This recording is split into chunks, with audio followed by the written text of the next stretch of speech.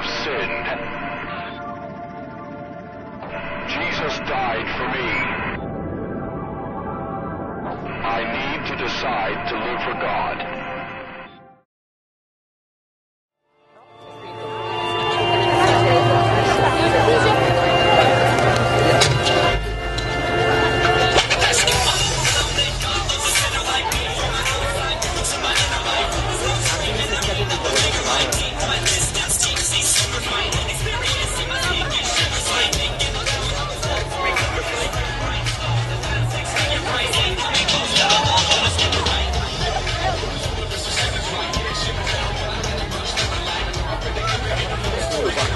Comment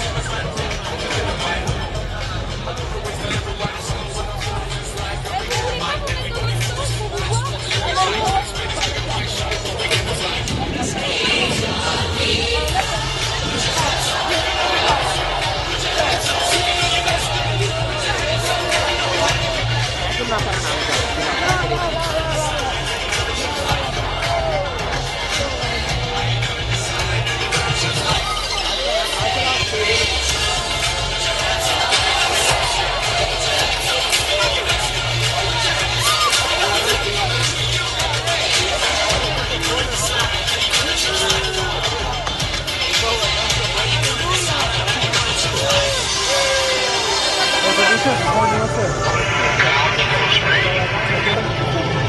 est-ce que danse Quand tu es premier, tu fais comme